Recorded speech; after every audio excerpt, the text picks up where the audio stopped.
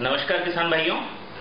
आज हमारे साथ एम मनोज जी जुड़े हुए हैं और ये अपना परिचय देंगे आप सभी के लिए और जैविक प्रमाणीकरण के हिसाब से जो जो क्या क्या किसानों को जानकारियाँ नहीं मिल पाती हैं वो हम आज इनसे जानना चाहेंगे। जी मनोज जी। नमस्कार किसान भाइयों। नमस्कार। मैं एम मनोज कुमार मैं वैसे सहायक संचालक कृषि विभाग में। अच्छा। और इस समय मैं मध्य प्रदेश राज्य प्रमाणीकरण संस्था भोपाल में पदस्थ हूँ। और जो भी किसान भाई इस समय जैविक खेती कर रहे हैं। हाँ। और वो चाहते हैं कि उनकी जैविक खेती जो भी उत्पाद पैदा करते हैं उसको यदि वो निर्यात करना चाहते हैं बाहर से। एक्सपोर्ट के हाँ निर्यात एक्सपोर्ट हिसाब हाँ, से जी। तो उनको ये ज़रूरी होता है कि वो लोग किसी न किसी हमारे देश में इस समय उनतीस संस्थाएँ हैं जो कि प्रमाणीकरण करती हैं। अच्छा ठीक। हाँ उनतीस है। उनसे कुछ दस लगभग जो है दस जो है राज्य संस्थाएँ हैं। हाँ हाँ। मतलब सरकारी संस्थाएँ हैं। सरकारी। और बाकी जो है गैर सरकारी है। अच्छा। तो किसान भाई इनमें से किसी ने भी जो है अपना प्रमाणीकरण करवा दें जिससे कि उनको स्कोप सर्टिफिकेट मिल जाएगा उससे हम्म। और उसके बाद वो लोग अपना माल बाहर दे सकते हैं। तो मनोज जी ये बताएँ कि जैसे किसान प्रमाणीकरण के लिए संस्था में जाएगा जी। तो अमूमन कितनी फ़ीस उसको लगती है प्रति हेक्टेयर के हिसाब से? देखिए हमारा जो फ़ीस स्ट्रक्चर है सर में आप नेट पे जाएँगे हमारे जी। उसमें दिया हुआ है। अच्छा। ना, वो ट्रांसपेरेंट है उसमें। अच्छा। हमारे यहाँ वैसे ये है कि प्रति हेक्टर सौ रुपए खर्चा है। अच्छा सौ रुपये सौ रुपए खर्चा है किसान के लिए। हमारे यहाँ ग्रुप में भी सर्टिफिकेशन होता है और कुछ सिंगल भी होता है। अच्छा। उसमें कोई ज़मीन की मतलब वो नहीं है कि उसमें एक हेक्टर होना चाहिए आधा होना चाहिए या अधिक होना चाहिए। छोटे छोटा और बड़े से बड़ा घर हमारे यहाँ होता है। और ये जैविक प्रमाणीकरण जो है कितने साल में मिलता है किसान देखिए उसमें ये है कि जो हम हमारे यहाँ जो एक्रेडिशन है हमारा। मध्य प्रदेश जो राय प्रमाणित संस्था है उसका जो एक्रेडिशन है ये हमारा एनपीओपी के तहत है।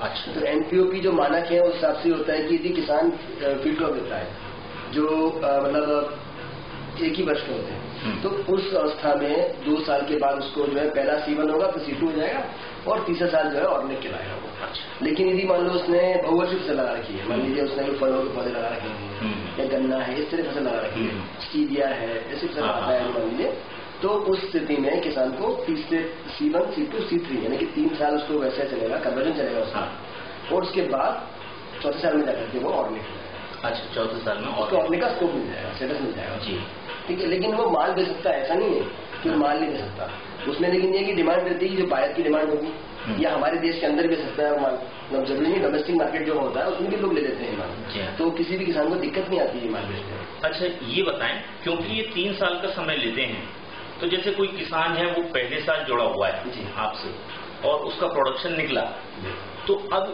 ये सर्टिफिकेट तो उसको 100 परसेंट जैविक मिला नहीं है अभी पहला साल ही हुआ तो इस स्थिति में वो जो पहले साल का माल है उसको वो किस तरह टेस्ट करवाते हैं और कैसे उसको जैविक के रूप में अपन बेच सकते हैं? देखिए उसे टेस्ट करना ज़रूरी नहीं है। अच्छा। क्योंकि वो तो एक विश्वास है ना हाँ। हमने स्कोप दिया उसको। हाँ। तो स्कोप एक विश्वास बनाता है कि भाई इसको क्रेडिबिलिटी दिखाता है कि भाई ये व्यक्ति जैविक कर रहा है। हम्म, और चूँकि सरकारी संस्था है तो वो भी क्रेडिबिलिटी वाली बात सही बात। है अब आती है बात जो व्यक्ति जो खरीद रहा है हाँ। उसके ऊपर है कि वो टेस्ट कराना चाहता है नहीं चाहता अच्छा। मान लो वो कहता है कि हाँ टेस्ट करवाना है। तो वो कहता है कि टेस्ट कराना है तो या तो वो खुद करा ले। क्योंकि कई बार ये होता है कि बाहर लोग कराते हैं। क्योंकि उनको कई बार ये रहता है कि उनके कुछ स्पेसिफाइड जो है लेबोरेटरीज होती हैं। हम्म। तो वो चाहते हैं कि उनका जो क्योंकि अल्टीमेटली उन्हें एक्सपोर्ट करना होता है या उनको लोगों को। बेचना होता है।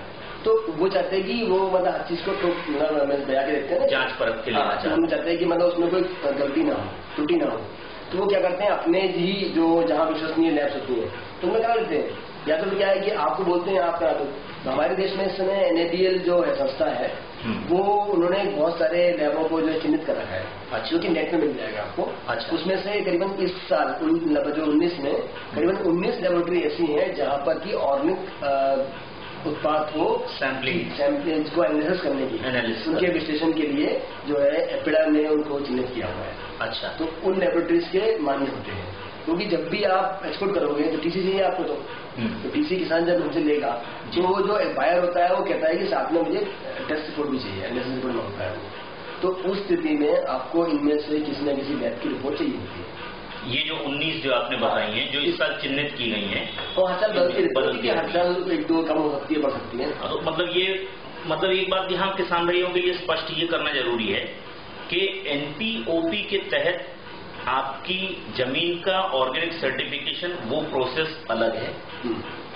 और आपका जो उत्पादन निकल रहा है उसको एक्सपोर्ट करने के लिए जैविक तरीके से उसकी जो एनालिसिस किया जाता है वो प्रक्रिया पूरी अलग है नहीं उससे सैंपलिंग होगी ना हाँ, तो हाँ। सैंपलिंग तो साइंटिफिक तरह से होगी उसकी तो हम्म। तो सैंपलिंग होगी लेकिन सैंपल वो वो लैब अलग है हाँ नहीं नहीं उनको भेजना पड़ता है उनको। लैब लैब नहीं लेगा आपसे हमें लैब में भेज के अपन करना। करवाएँगे। क्योंकि रिस्क तो आपकी है ना जी हाँ तो वो उसको मतलब पुष्टि करना है कि भाई इसमें कुछ नहीं है इसलिए आपको वहाँ करना नहीं मैंने मैंने ये चर्चा इसलिए करी क्योंकि जनरली लोग क्या समझते हैं कि भाई कोई प्रोडक्ट है एक्सपोर्ट करना है तो एमपीओपी के तहत एमपी सोका का मान लो उन्होंने जैविक प्रमाणीकरण ले लिया हम्म। बस वही काम हो गया नहीं नहीं। ऐसा नहीं है। जो भी बायर लेता है हाँ। वो पहले एनएस रिपोर्ट माँगता है। और वो टीसी से जारी होती है तो उसमें एनएस रिपोर्ट रखती है ट्रांजेक्शन सर्टिफिकेट यस उस साथ में उसके जो है उसमें जो भी प्रोडक्ट टीसी में वही प्रोडक्ट लेगा जो उसके पास रहेगा स्टॉक में। सही बात। तो वो उसकी शेल्फ लाइफ भी होती है। हाँ। उसके अंदर टीसी मिलता है उसको।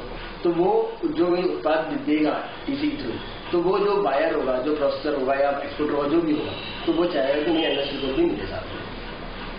तो मुख्य रूप से बात ये आज क्लियर हो गई किसानों को कि एनपीओपी के तहत आपको जैविक प्रमाणीकरण ज़मीन का करवाना है। इसके बाद बायर की यदि रिक्वायरमेंट है तो आपको जो प्रोडक्शन आपका निकल के आ रहा है, उसका सैंपल एनालिसिस करवाना है। उसके जो पैरामीटर्स उस पैरामीटर बेसिस पे वो सैंपल एनालिसिस होगा और फिर वो एक्सपोर्ट के लिए मानक माना जाएगा। लगभग 204 इस समय लगभग 200 के ऊपर। जो है ऐसे मतलब उसमें अवशेष जो है टेस्ट किया गया उसमें। दो सौ चार करोड़ चार लगभग लगभग। एनालिसिस हाँ, करते तो हैं। उसमें क्या है कि पेस्टिसाइड रेसिड्यू भी है हेवी मेटल्स भी है हम्म। और भी बहुत सारी चीज़ें हैं उसमें जो। कि उसमें आते हैं। हार्मफुल बैक्टीरिया का हाँ, माइक्रोब्स वगैरह भी है उसमें अच्छा। जीएमओ का भी है उसमें। तो बहुत सारी चीज़ें हैं करीब 204 के आसपास उसमें किया जाता है। अच्छा ये जो है ये एक्सपोर्ट वाली बात हो गई। हम्म। है ना? मान लीजिए कोई यदि आपके यहाँ एमपी सोका से यदि सर्टिफिकेशन ले लेता है और वो लोकल में ही ऑर्गेनिक करके करता है तो उसको मार्केटिंग में कोई दिक्कत? नहीं अपने यहाँ तो देखिए उसमें अगर ये तो खुद का वैसे माल बेचे वो या ब्रांडिंग करता है तो फिर प्रोसेसिंग का लाइसेंस हमारे यहाँ स्कोप देते हैं एफ़ एस एस वाला एफएससी भी चाहिए प्रोसेसिंग का हमारे हम प्रोसेसिंग का भी स्कूल देते हैं अच्छा। तो प्रोसेसिंग करा के जैसे मान लीजिए उसने आटा गेहूँ का जैसे मान लीजिए उदाहरण के लिए इसने गन्ना कला कर रहा है। हमारा में तो रहेगा गंदा रहेगा। हम्म। गुड़ का तो रहेगा नहीं उसमें। सही वो गुड़ बना के बेचता है। हाँ। तो उसके लिए वो गुड़ की प्रोसेसिंग हमारे यहाँ से करवा दे। उसका Processing का- प्रोसेसिंग का स्कोप अलग से प्रोसेसिंग का सर्टिफिकेट अलग मिलता अलग है। मिलता ऑर्गेनिक है ऑर्गेनिक अलग मिलता है। ट्रेडिंग का भी हमारे यहाँ मिलता है। तो यदि किसान चाहे तो अपना से मतलब दलिया बना के बेचना है। तो गेहूँ से गेहूँ पैदा किया खुद ने उसने पर उसको तो दलिया या रवा बनाना है या आटा बना के बेचना है। तो प्रोसेसिंग का हमारे यहाँ करवा ले और जो। उसको मार्केट हो जाएगा बेचने के लिए उसको। तो अपनी ब्रांडिंग करके बेच सकता है। वो ठीक खुद के नाम से जो भी ब्रांड चाहे वो बना के बेच सकता है। क्योंकि उससे लेवल अप्रूवल में रहता है मतलब आज ये बहुत बड़ी भ्रांति थी जो मैं किसानों से बातचीत होती थी और समझता था। तो मनोज जी से आज ये काफ़ी महत्वपूर्ण जानकारी मिली है अपने को और ये सारे किसानों को जो एक्सपोर्ट के हिसाब से अपना प्रोडक्शन कर रहे हैं उनके लिए काफ़ी जानकारी है और आशा है किसान इससे लाभान्वित होंगी। और जितने भी हैं हमारे लोग बाग जुड़े हुए हैं कई हमारे साथ महिलाएँ भी जुड़ी हुई हैं और कई दूसरे किसान भी जुड़े हैं तो उनकी क्वेरी थी कि साहब ये ऑर्गेनिक का कैसे होता है? तो आज मनोज जी आपको तकलीफ़ दी हमने नहीं नहीं नहीं, और जानकारी कम से कम मैं चाहूँगा किसानों तक बात पहुँचे और किसान में जागरूकता फैले इस बात जी। हाँ। हमारे यहाँ वैसे एक पैनल चल रही है जैसे अभी आपने देखा हुआ प्रधानमंत्री कृषि परंपरागत कृषि योजना। हाँ। उसके अंदर पीजे सिस्टम चल रहा है। हाँ। तो उसमें जो लोगो होता है वो जैविक भारत का लोगो होता है। जो भारत डोमेस्टिक मार्केट के लिए है।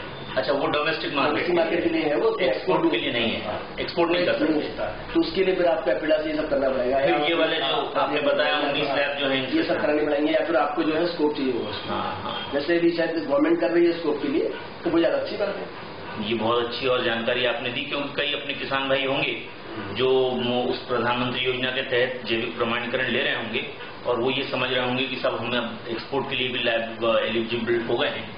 मेरे ख्याल से ऐसा नहीं है वो। चलिए धन्यवाद मनोज भाई। और मिलते रहेंगे आपसे बिल्कुल। शुक्रिया। थैंक यू धन्यवाद।